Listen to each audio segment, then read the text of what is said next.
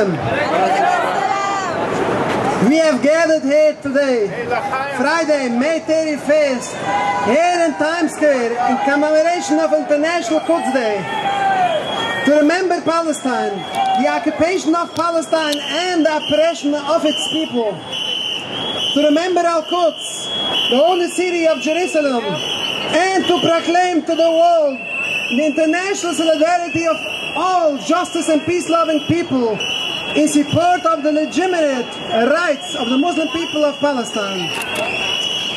While decades are going by with atrocities, oppression and rivers of bloodshed, especially over the last while with the brutality to silence the Great Return March by the people of Gaza. Let us together raise our voices of condemnation and appeal to the world at large to stand up for justice and to stop the enormous suffering, the enormous suffering of the Palestinian people caused by the Zionist oppressors. But while righteous people worldwide are indeed voicing the truth and bravery standing up for the rightful cause, the Zionists and the supporters of the State of Israel are preparing labels, which is old labels, they're taking out these labels every time they want to silence righteous people. They're preparing labels of accusation with the goal of silencing their critics and allowing, allowing the blatant crimes of their movement to continue. Anti-Semitism they cry and try thereby to silence the voices of truth. But the truth is, pro-Palestinian activism has nothing with anti-Semitism. Anti-Zionism is not anti-Semitism. The term anti-Semitism is being misused and by doing so, its value is being diluted. Judaism itself is desecrated when it is misused to justify the Zionist crimes. Palestinians have nothing against Jews. Their only conflict is with the occupation, in the oppression and the atrocities against the Palestinian people. For centuries, Jews and Muslims lived together in peaceful harmony. Jewish people lived in peace with their Arab neighbors before the invention of Zionism. This was the case in Palestine as in other Muslim countries. We not see the Arabs as our enemies. We do see the Zionist movement as the true enemy of our people, 100%. our religion, and the Zionist movement as the true enemy of our people, the true enemy of our religion, the true enemy of Almighty God.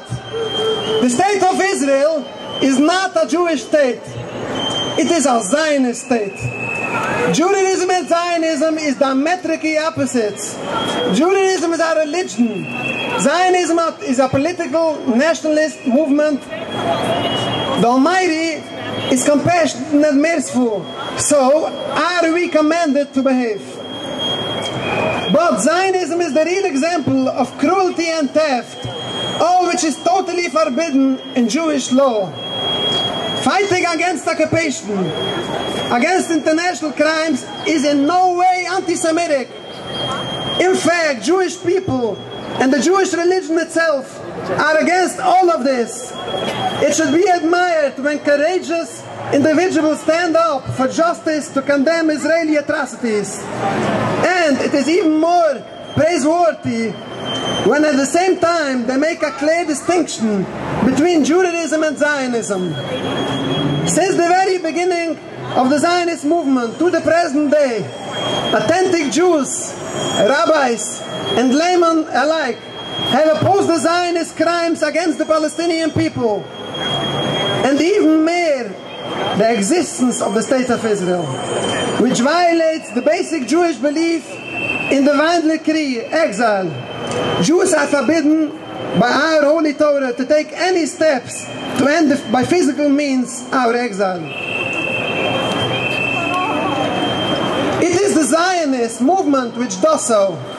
As it attempts to uproot religion from masses of Jewish people. And my friends, my friends, let me tell you, it is not just non-Jewish criticism of the Zionists and the state which is being attacked. It is also Jewish people who are not afraid to speak out for the truth. Religious Jewish scholars publicizing their religious convictions are oppressed and arrested too. The youth Jewish communities in the Holy Land who refuse to participate in the Israeli army and their crimes are arrested and prosecuted. Masses of Jews protesting the Zionist regime and his behavior are arrested and oppressed by the Israeli police.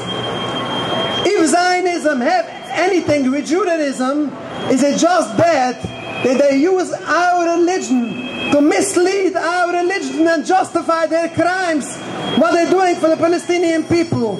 Let me repeat this. If Zionism have anything with Judaism, it is just that they mislead our religion to justify their crimes, what they're doing on the Palestinian people.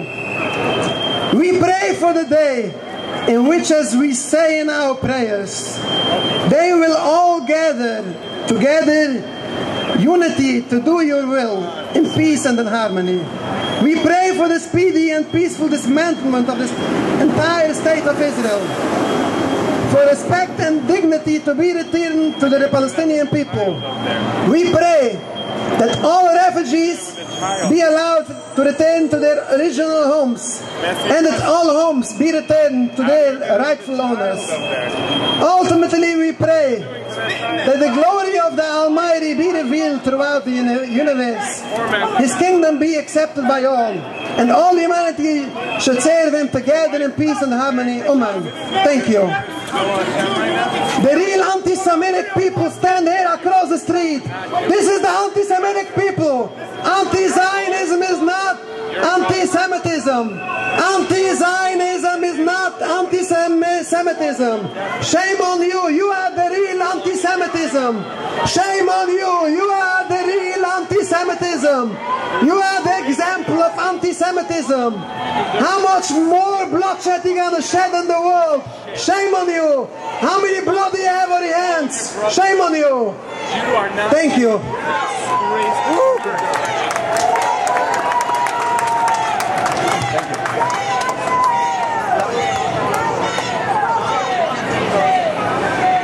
I think now we have to do what, what's most appropriate. After the after listening to that speech, the only natural conclusion is that we all turn 90 degrees and we say, Shame on you! Shame on you! Shame on you! Shame on you!